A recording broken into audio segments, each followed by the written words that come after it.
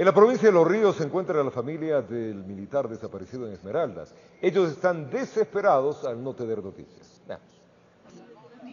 Viviana está desesperada. Como ella, el resto de su familia padece la agonía de no tener noticias de su hermano, el cabo segundo Wilson Ilaquiche, un soldado de 29 años que estaba laborando hace un mes en el sector Tobar Donoso perteneciente a Carchi, muy cerca de Esmeraldas. La comunicación entre el uniformado y su familia en Valencia era constante. Este fue el último video que les envió dos días antes de su desaparición. Un poco de miedo por acá, mami. Amanecí con un poco de miedo que antes, como ayer a las 7 de la noche se vio una luz aquí al otro lado de Colombia, que parecían los guerrilleros, pero en fin, todos estamos bien, no pasó nada mayor.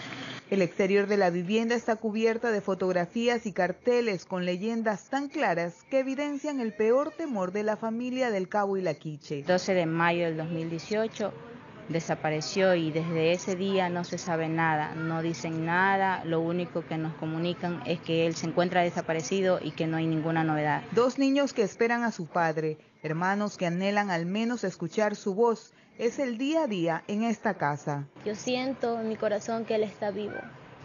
Él donde quiera que esté, sé que Dios le dé fuerza de voluntad para regresar. La madre del militar desaparecido viajó a esta Esmeraldas para conocer noticias de su hijo, mientras aquí en Valencia los familiares planifican marchas para llamar la atención de las autoridades.